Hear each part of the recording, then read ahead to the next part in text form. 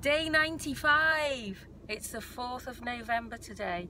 Day 95 of, um, of cancer. the cancer calendar.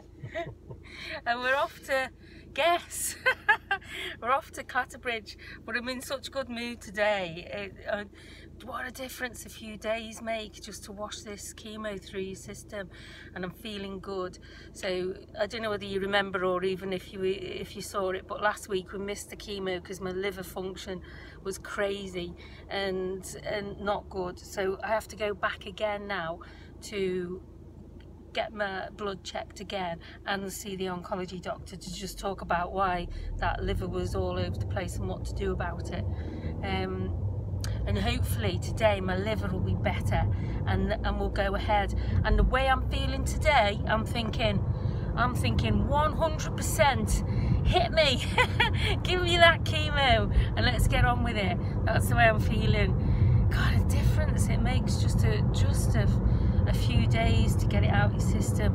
Um, but yeah, I'm, I'm feeling so good. David, David's feeling good, aren't you, David? Very good. he had a good bike ride yesterday. Went off up to from our house to Heswall on his bike. Took some sandwiches, so he was okay.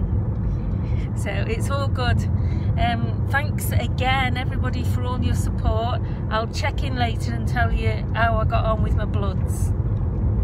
Happy Monday, everybody.